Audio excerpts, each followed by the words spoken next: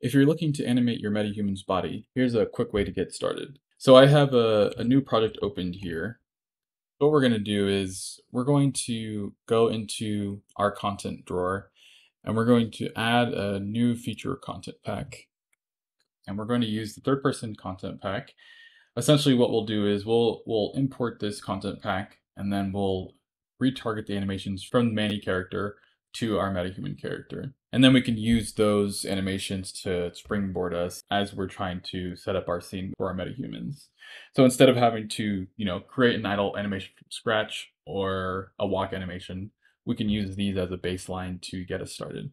All right, so we have those imported now. Let's go ahead and close these two windows and go back to our content drawer here. So what we'll do is we'll go into our characters folder and into mannequins and we want to look for this folder rigs. In here, you'll see that Epic has already included several control rigs and IK rigs for us in this folder, as well as an IK retargeter. So there's not a lot of work that we have to do ourselves. Most of it has been done for us. And that's why this is such a nice workflow. So what we want to do is open up this retargeter here And right now it's it's set to retarget from our Manny character to our Manny character. So if you actually take a look inside of the MetaHumans folder, you'll see in under common, and let's go ahead and just search for IK. So you'll see that there's already an uh, IK rig created here. There's also an IK retargeter, but this is gonna would be used if you're trying to retarget from MetaHuman to another character and we're trying to go the other direction. So all you need is to use this IK rig here. So we'll go back to our, our mannequin retargeter and we'll switch this to the MetaHuman IK rig. And then it should pop to our, our uh, preview here already. Okay, so from there, let's just select the idle animation. Let's see what that looks like right now. So the, the MetaHuman skeleton is already supported by the the Manny skeleton. Most of the skeleton is similar, um, just that MetaHuman has um, quite a few more bones for the hands as well as bones for the face. So the nice thing is all we have to do is we can, once we've added the third person content, we can jump right in here, select an animation. If you'd like, you can go and retarget all of these, but for the sake of demonstration, let's just retarget the idle.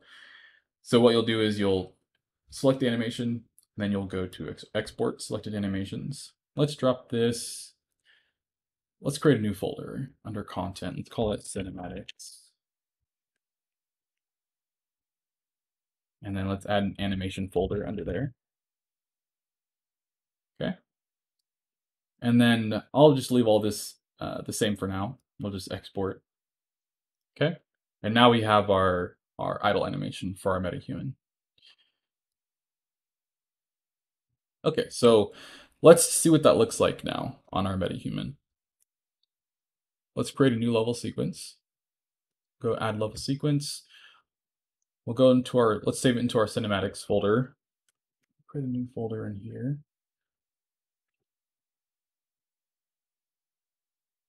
And let's call that test idle animation. Okay, and then we're going to track our metahuman in our sequencer here, sequencer timeline. Okay, so it's going to pop right into animation mode. We're actually going to delete the control rigs for the time being. Okay, and then we'll select our body. And we'll go to track, animation, and then we'll search for our idle animation. And there it is. Then we can apply that. Okay, so that's essentially all we need to do. Now you can see that the animation has been applied to our MetaHuman. So instead of having to go to the marketplace or to a third-party website and purchase some animations right off the bat, um, you can just go ahead and use the third-person content since it's supported directly on the MetaHuman skeleton. So that about does it for this video. Thanks for watching, we'll see you next time.